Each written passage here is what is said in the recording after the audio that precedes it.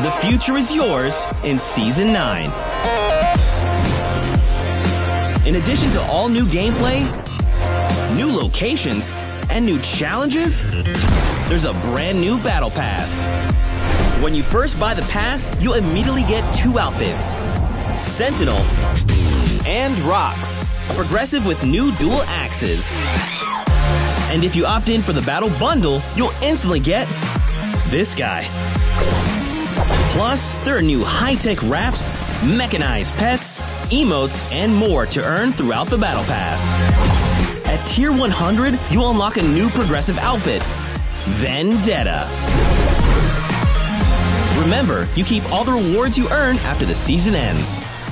New to this season's Battle Pass are Fortbytes. Use clues to earn and locate hidden pickups around the island, helping you unlock rewards and uncover the secrets of Season 9. The Season 9 Battle Pass is available right now for just 950 V-Bucks.